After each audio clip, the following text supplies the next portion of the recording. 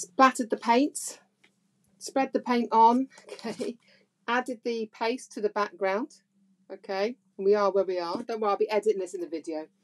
Um, and then what I've done is, once I've put this around the outside, I've used the um, activator, okay. Hi Sue, I'm having all sorts of problems today with everything. Facebook, my tablet, it's a perfect storm today. So I'm hoping saying if this um, goes out again, get chucked out of Facebook again, what I would do is I would video up here. I would video all the steps that we've done, okay, um, and put it out as a video, okay. So I'll redo it all. So if you're kicked out, don't worry, the video will still be coming on of this technique, okay. so come back down here. There we go. Okay, so I've added the activator now onto here, and what we're going to do now is once I have done this, we are going to, oh, excuse me, I've got itch here. Going to add um, bicarb, to be honest, bicarb and vinegar. So, if I can open this, do you think, Sandra, the heat? Oh, I don't know. It is very warm in here, so I don't know whether it's affecting my electrics up here. Uh, very old house. I say very old, not very old. It's a terrace house, but it needs an awful lot doing to it. There we go. So, so far what we got. I hope you're going to enjoy this in the end. Hi, Faith. Sorry about that. Sorry about that, but um, I was kicked out. So we've got uh, bicarb. Okay, it's just my bog standard bicarbonate soda. I've got some. Uh, we're using the vinegar now. Okay, so that's just your vinegar. Doesn't matter what type of vinegar it is. And I will still be using the activator. Okay, but same if you're using rusty patinas, don't worry. Oh, maybe it is the heat then, Sandra. I don't know, but I'm not very happy. It's not it's not good for you. I'll try and I will try and edit the two together as a video. Um so all in one, hopefully. But then again I'm not bright as bright as a button when it comes to um those sort of things. okay. So this now I've added activator on it. What we're going to do is we're going to add the bicarb. Okay. Bicarb. So I've just got a bicarb here.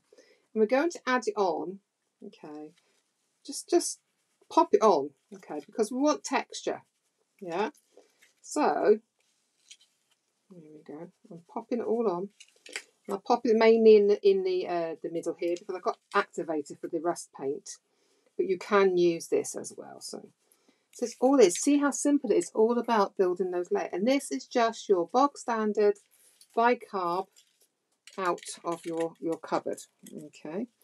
The good thing about this, once it's dried, you once when I keep saying whence. I don't know why I think I'm coming from um, the medieval times. I do not know. Um, you can do this any area you want, and after it's dry, we can brush it back as well. So there's lots of ways you can do it. So that's our, our bicarb on here now, and I've got the vinegar. So with the vinegar now, I'm just going to start. Can you see? Um, can I come in closer for you for this? I'm going to try and get in closer. Here we go we watch as this goes on now. This is what's give you this lovely um the texture. You see it fizzing away there. okay. And it smells nice. I like the smell of vinegar. That's just me. Open the window if you don't like the smell of vinegar. Okay. There you go. So I'm just adding the vinegar. So I'm going to dry this. Now you've got to be patient when you're drying this because I found, or as advised, also I got a little bit of activator in it as well around my rust bits here. Um, this is going to take a while to dry, all right? Because, but we can, I'm going to come out now, we can um, use a heat tool for this now. Because I'm using the heat tool, won't move it around, okay? So what you do with the heat tool is, I'm just going to start doing it. I won't do it, I'll have it already finished but you're just going to use your heat tool to dry the areas where your bicarb is, okay? Mm-hmm. I put on lots here, you don't have to put as much this, I just want to show you the fizzing, because I'm like that. So you want to hold it quite close when you're doing this, okay, because you want to try and dry this sort of in the position it is, if that makes sense. You can let it dry on its own, but I like to dry it with a gun, because what happens is also, is by holding it close, you can also singe, that makes sense, you can singe the um, bicarb, the powder, and it gives even more texture and more um, uh, dimension to it. You can see where the activator is, along with the vinegar. It, you can see it's already getting a really true rusty look. Again, don't worry because you can use your, your rusty patinas and create that effect yourself. So I'm going to hold this in this area. We're going to go just one area and I'll show you the one then that we've uh, worked on to finish. Okay. So again, be patient with this because it is well worth it. Okay. And what you can do is then you can hold it close and once it's all dried out a little bit, where this is white, you can singe that. But we can, we can um, brush off what we don't want in the end. I love the texture, so I didn't brush much of mine off. you can see where this bit is drying now. Okay.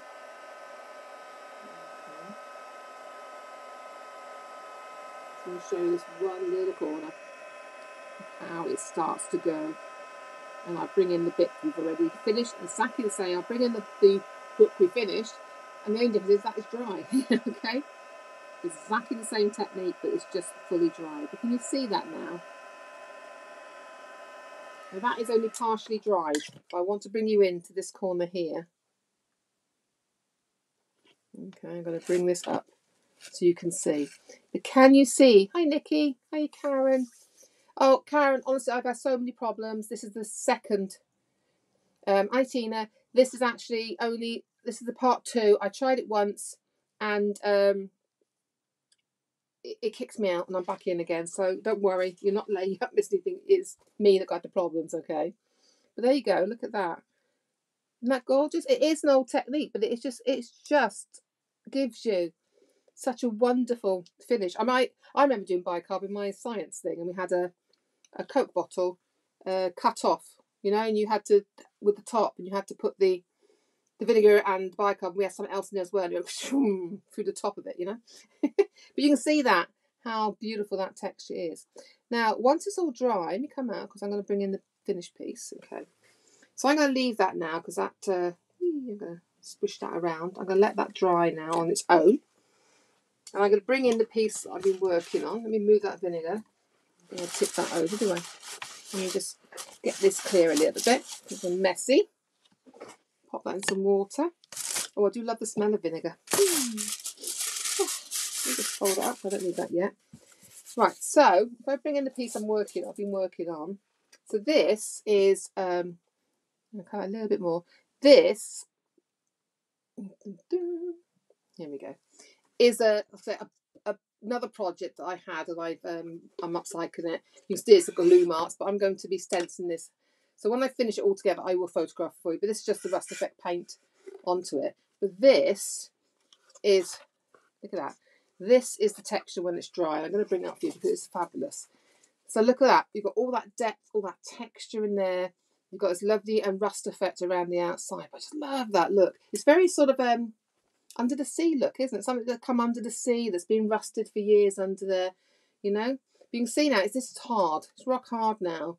You can brush off what you don't want. If you want to um, have less of the effect, just just brush it off. But when you are happy, when make sure there's no vinegar in there. One, when you're happy with the effect, this is what I said about the, the varnish spray. Okay, at this stage, and I haven't got, I've only got gloss. and I don't want to put gloss on this.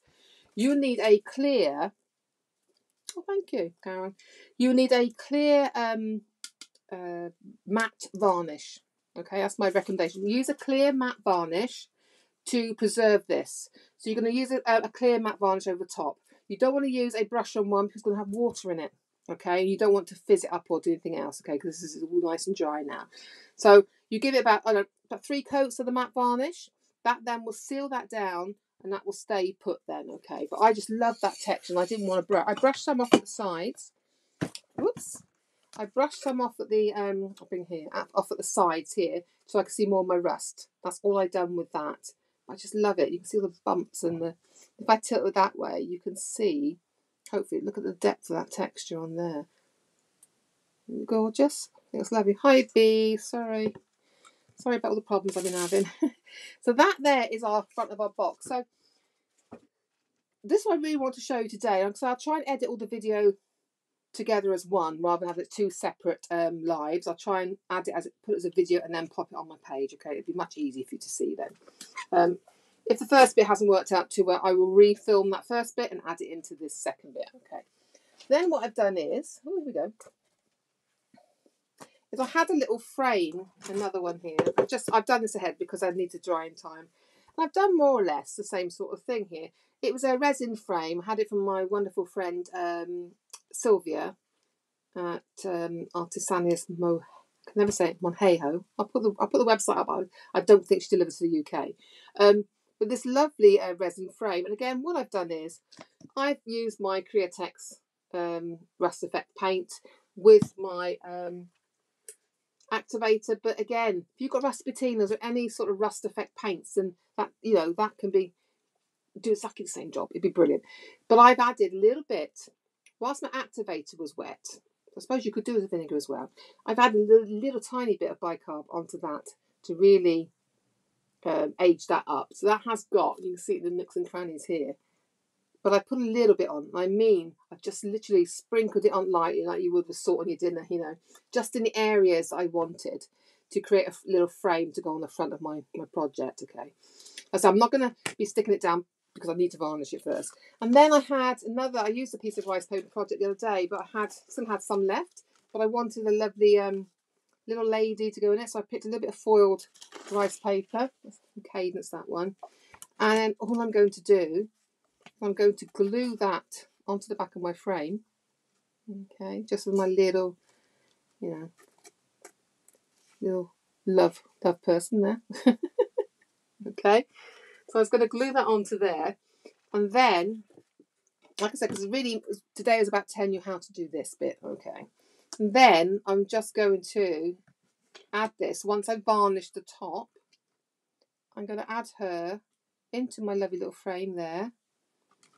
I may find myself, then I, I may do one of my little, my little wooden press things into clay. Um, this pressed into clay to make wonderful little tags. So I may add something like that on um, later on or not, basically. so there you go. But again, all about layering. So we've added layers. We've added like your rusty again. Use all your rust effect paints you have. But this, I think, is is beautiful. And again, the original technique um, was taught to me by my friend in Spain, Montse Garcia. Uh, fantastic mixed media artist, amazing. And she's a cadence teacher as well. But look at that. And when I seen this technique, I, it was a few, it was a little while ago now. But when I thought about the technique, what technique can we do? I thought I've got to do this one because this is something that can be used in your card making, your scrapbook, and onto all sorts. And it's all about using. Basically, you could do it. You just bicarb, paint, and vinegar. Amazing. Love it. Love it. I think it makes me hungry now. I think I got some chips. I don't know. I shouldn't really like lunchtime. I got to move on now. Clear all my desk up. And I got clean. I've got clean card making crafting to do next. There you go. So I hope. I hope you love the the um the finish to it. Okay. I said I when I finished the whole book. Okay, I varnished it and I've added my topper on and I finished the edges and stenciling. I will put, put um, a photograph up on on my page. Don't worry, I will pop it up there. But there's just this way of using that bicarb and the vinegar to give your texture. Also on the frame, and I'm trying to hold, try and hold it on my hand now. I know it's hard to see because all the lights here, but that the texture really is. I can do it that way. No, my lights are too strong. I have to put them off. I've got a very dark room. Okay, but the texture on there is wonderful, and that colour. But I think I'd like to do that as a sea theme, you know. And I'm gonna. I have got some rice papers with sea themes on them.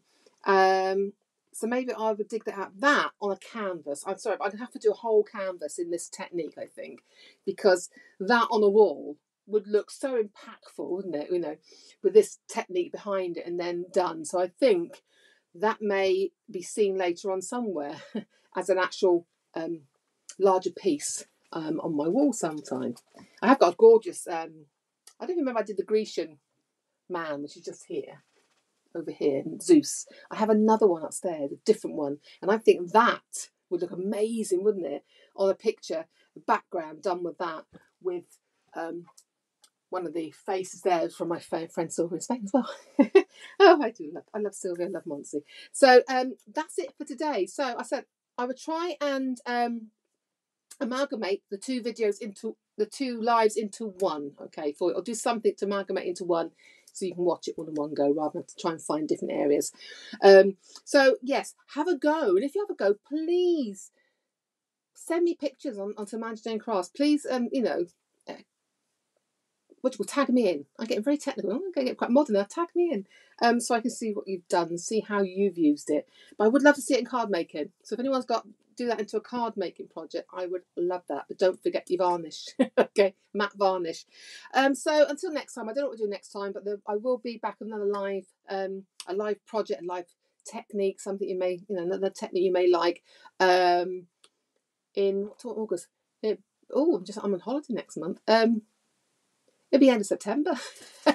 It'll be end of September. We will we will be doing a project. Okay, and I'll try and get a nice technique for you. Um, something maybe some pretty. I don't know yet. So anyway, you take care. Stay safe. Enjoy the warm weather. I'm not. it's too warm.